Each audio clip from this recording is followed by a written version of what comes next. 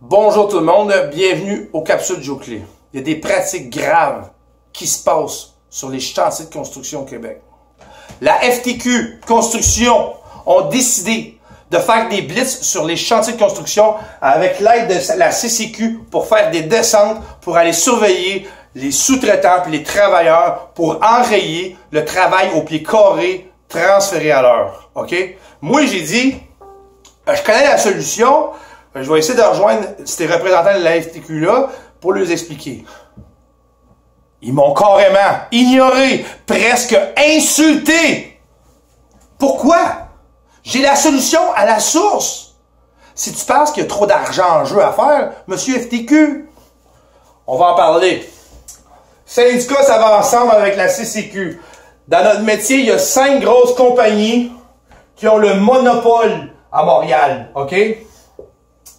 Ces grosses compagnies-là n'engagent presque plus de gars à l'heure parce qu'ils savent que ça coûte trop cher, OK? Fait qu'ils redonnent ça sous contrat à tout plein de sous-traitants, OK?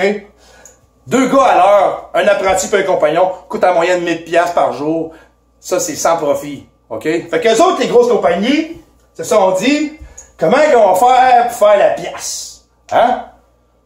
Les gars se sont tous tenus, ici, pour redonner à 300 pièces 10 000 aux sous-traitants. OK?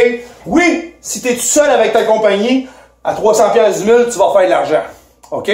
Mais les sous-traitants, eux autres, là, ça leur prend du monde pour livrer la job. Parce que les autres, c'est rien des grosses jobs qu'ils ont. Fait que toi, si t'as pas de monde, tu vas voir que si t'as retardé la job, tu vas te faire couper. Si t'as des déficiences, tu vas te faire couper. Fait qu'il faut comprendre une chose. Le prix qu'on a maintenant, ne peut pas payer un apprenti et un compagnon ensemble par jour. On n'a pas les moyens. C'est garanti que le sous-traitant fait faillite.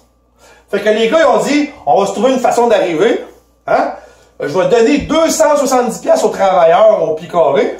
Moi, je me garde 30 pièces du mille. Fait que l'entrepreneur, il se garde 60 pièces du gars du mille. OK?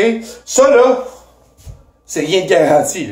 Hein? S'il te manque des papiers, tu te fais pas couper, tu te fais couper. Si tu as des déficiences, tu te fais couper. Si tu de la job, tu te fais couper. Il y a d'autres qui ont des avocats armés bien raides. Puis, ici, là, tout, tout, le monde tombe, tombe, tombe, tombe, tombe. OK? Parce que les prix sont trop bas. Fait que là, eux autres, les syndicats de la FTQ, se sont dit, comment on va faire pour enrayer le problème? Les autres se sont dit, on attaque les sous-traitants, hein? On va aller les fouiller, puis on va aller surveiller les petits travailleurs, hein?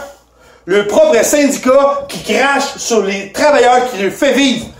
Il y a beaucoup de travailleurs là-dedans qui font de l'argent à 270 pièces du mille. OK? Il y en a qui sont pas assez bons, qui en font pas d'argent. OK? Mais comment qu'on fait pour enrayer le problème? Tu t'en viens ici. Tu fais des listes de prix au pied carré, comme à Toronto. OK? Prenez l'exemple sur nos voisins. Puis si ces gros-là, ils vont plus bas que le prix carré de vos livres, ben, vous irez donner des étiquettes à ces gros-là. Hein? Laissez tranquille les sous-traitants qui essayent de survivre. sais, ça marche pas, là. Puis en plus, la solution que vous avez choisie, mais c'est encore pire. Moi, là, je vous le dis la solution. Vous mettez des prix au pied carré, puis les gros, faut qu'ils respectent. Ça règle le problème à la source. Pourquoi vous écoutez pas la solution à Joe Clé? Si tu penses qu'il y a trop d'argent à faire, répondez donc à Joe Clé. Merci à tous. Partagez ça en masse.